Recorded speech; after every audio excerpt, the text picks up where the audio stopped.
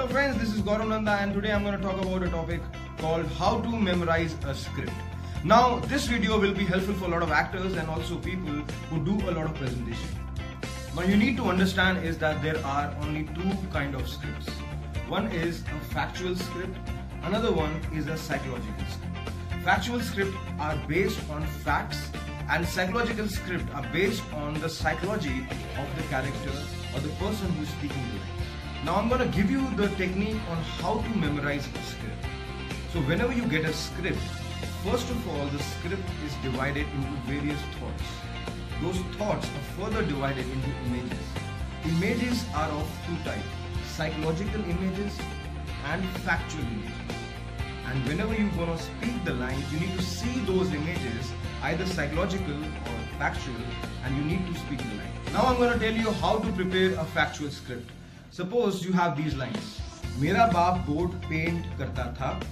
वो शराब के नशे में धुत होकर उल्टी सीधी तस्वीर बना, बनाकर रंग बर्बाद करता and the lines can go on so these lines will be divided into two thoughts मेरा बाप बोर्ड पेंट करता था। ये एक थॉट होता है। वो शराब के नशे में धुत होकर उल्टी सीधी तस्वीर बनाकर रंग बर्बाद करता था। ये दूसरा thought now corresponding to these thoughts will make a factual image will see that मेरा बाप बोर्ड पेंट करता था।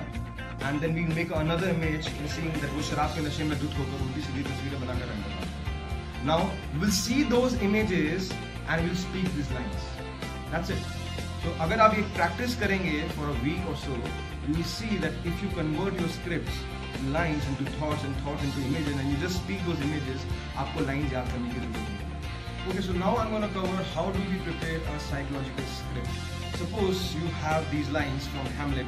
To be or not to be, that is the question whether it is noble in the mind to suffer the slings and arrows of is watching ये आपकी line हैं हमारे पास तो इसको हम कन्वर्ट करेंगे थॉट्स में. To be or not to be this is one thought that is the question is the second thought now we need to convert these thoughts into psychological image to be or not to be कि हम psychological image बनाएँगे.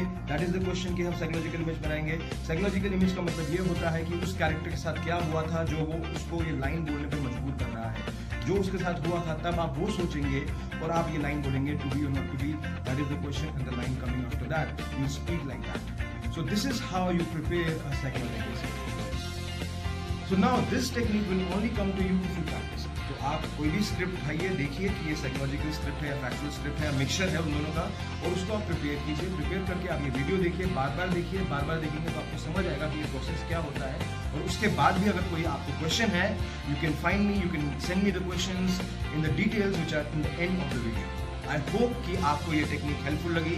And this is Gaurav Nanda signing off and I am sure आप इस technique को use करके बहुत अच्छे actors बनेंगे और अच्छी तरह से प्रेजेंटेशन करेंगे।